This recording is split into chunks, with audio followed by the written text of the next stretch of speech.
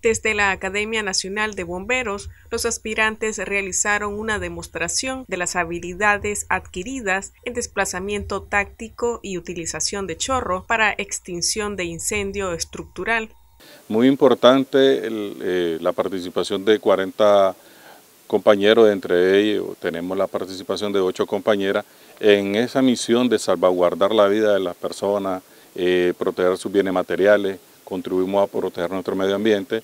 Parte del contenido, la temática que miran bomberos es principalmente salvaguardar la vida, pero es muy importante, hoy van a demostrar todos los conocimientos teóricos prácticos en el tratamiento, la administración, en la extinción de un incendio. La extinción de un incendio requiere mucho estudio teórico, mucho estudio científico y los compañeros se les está formando en la administración lo que llamamos chorro, para eh, administrar chorro eh, en, un, en, un, incendio en interiores,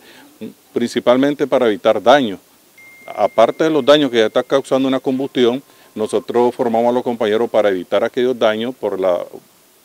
alguna mala administración que se puede dar por la aplicación de agua a un chorro con determinada presión. Los compañeros en ese estudio teórico práctico se les está formando para la estrategia de administrar incluso un chorro que le llamamos un chorro neblina que es para proteger a la dotación de bomberos, un chorro cortado que puede ser para administrar incluso a, cualquier situación de un fenómeno que se dé en una área eh, cerrada, es la administración de, la, desde la manguera, pistero y otro equipo que va a utilizar el compañero, a ellos se le forma en una parte científica muy importante. Los incendios en la parte interna únicamente no solamente es llegar y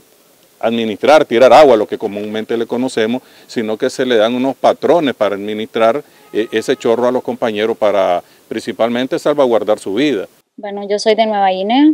me integré a la Academia Nacional de Bomberos porque es un requisito que todo, cada uno de nosotros como bomberos debemos de cumplir, de pasar por acá,